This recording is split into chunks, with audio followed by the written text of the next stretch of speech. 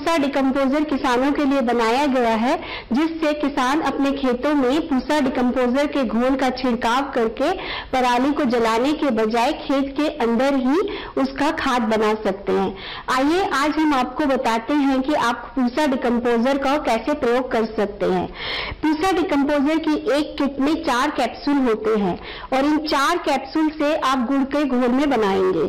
सबसे पहले आपको 150 ग्राम गुड़ की आवश्यकता है, उसके बाद 50 ग्राम बेसन। लेकिन किसान भाई, ध्यान रहे कि ये ना सोचे कि ये तो ऐसे ही बनाना है, बेकार सा गुड़ और पुराना बेसन ले। हमेशा जो है, अच्छी क्वालिटी का या उत्तम गुणवत्ता वाला गुड़ गुड़ लीजिए और बेसन भी वो लीजिए जिसमें कीड़े ना हो। आप 150 ग्राम गुड़ को 5 लीटर पानी में उबालें और इतना अच्छी तरह उबालें कि उसके ऊपर जितनी भी गंदगी है, उसको आप फेंक दीजिए। एक बार जब पूरा पाँच लीटर पानी में से गंदगी उतर जाएगी, तब एक चौड़ा लीजिए और उसमें पाँच लीटर गुड़ का घोल डाल दीजिए। ये घोल बहुत गर्म होगा। तो आपको उसको उतना ठंडा करना है जैसे कि एक गहनी दूध में दही का मट्ठा लगाती है। उतना गर्म होते ही आपने 50 ग्राम के, के लगभग बेसन लेना है और उस गुड़ के घोल में डाल देना है और अच्छी तरह मिला दीजिए। इसके बाद आप डिकम्पोजर का पैकेट खोलिए और उसमें से चारों कैप्सूल खोल कर गुड़ के घोल में डाल दीजिए और उसका जो छिलका या खोल है, उसको भी उसमें डाल दीजिए, क्योंकि ये खोल भी घुलनशील है और उसके गुड़ के घोल में घुल जाएगा। इसके बाद उसको अच्छी तरह हिला के आप एक पतले से दुपट्टा या कोई धोती या कोई भी पतले कपड़े से उसको ढक दीजिए।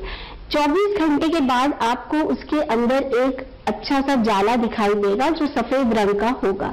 जाला दिखते ही समझ जाइए कि आपका जो घोल में जीवाणु है, वो सक्रिय हो गया है और आपके जो कल्चर है, वो बनना शुरू हो गया है। चार दिन के अंदर आपको उसके ऊपर बहुत अच्छे, कोई हरा, कोई काला, पीला अलग अलग रंग के दाने दिखाई देंगे, जैसे कि चाय पत्ती के दाने होते हैं। और आपकी जो मैट, जिसको हम बोलते हैं, वो मलाई जो है, वो भी मोटी हो जाएगी। जब मोटी मलाई बन जाएगी तो पाँच लीटर वाला जो घोल है, उसमें उस मलाई को आप जो है हल्का सा मनसन दीजिए और दोबारा से पाँच लीटर गुड़ का घोल हल्का गर्म करके उसमें डाल दीजिए। इसमें भी आप 150 ग्राम गुड़ लीजिए और पाँच लीटर पानी लीजिए, उसमें उबाल के हल्का गर्म जो है उसमें डालिए। अब इस समय किसान भाइयों को बेसन का प्रयोग नहीं करना है, केवल गुड़ का घोल डालना है। ऐसे आप पाँच से दस, दस से पंद्रह, पंद्रह से बीस और बीस से पच्चीस बना लेंगे। और पच्चीस लीटर बनते ही इसके बाद आप इसमें जीवाणु की संख्या नहीं बढ़ेगी और आप पच्चीस लीटर का प्रयोग कर सकते हैं। तो एक कैप्सूल चार कैप्सूल की जो पाउच है इससे आप पच्चीस लीटर बना सकते हैं। और क्या विधि है कि आपने जो कल्चर की मात्रा है वो दस लीटर रखनी है और पानी जो है दो लीटर उसमें दस लीटर का घोल बना के चाहे तो दवाई छिड़कने वाला नैपसेक स्प्रेयर या कोई मशीन से अच्छी तरह उसका छिड़काव कर दे। छिड़काव करने के बाद आपको फ़सल अवशेष को खेत में पलटना बहुत ज़रूरी है। चाहे आप मल्चर चला लीजिए, चाहे आप रोटावेटर चला लीजिए, और अगर आपकी खेत में जो कि पानी की मात्रा मॉइस्चर जिसे कहते हैं, अगर पर्याप्त है तो आप इरिगेशन मत दीजिए, नहीं तो हल्का पानी भी चला सकते हैं।